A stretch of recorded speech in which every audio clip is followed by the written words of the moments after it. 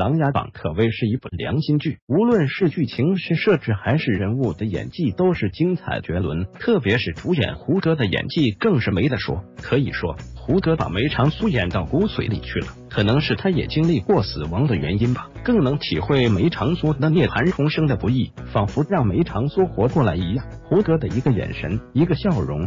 仿佛他不是胡歌，他就是梅长苏，就是这么一部经典，是否能被《凡人修仙传》超越？而《凡人修仙传》作为一部期望很高的电视剧，依然用人气很高的胡歌担任主演。但是网上爆出女主角是李小冉，这个就让许多网友伤心了。为什么不是王涛？毕竟他们在《琅琊榜》的演技都是大家有目共睹的。